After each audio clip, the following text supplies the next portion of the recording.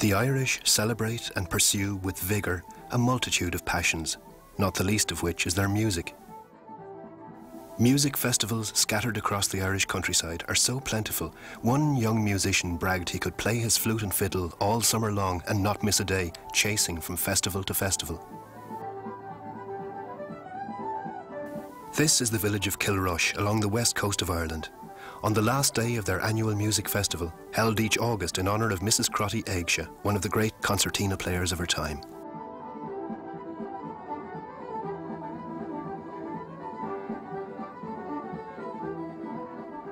In August, for four days, the town of Kilrush comes alive.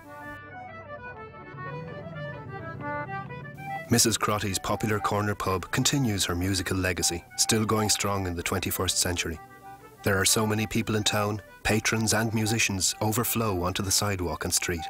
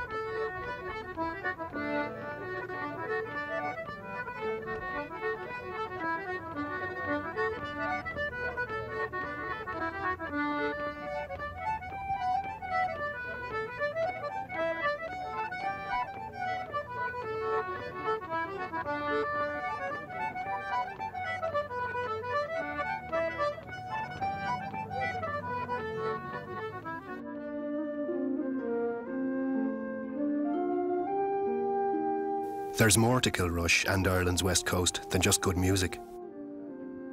Dolphin cruises are popular during the summer to visit a local pod of the entertaining mammals that live nearby.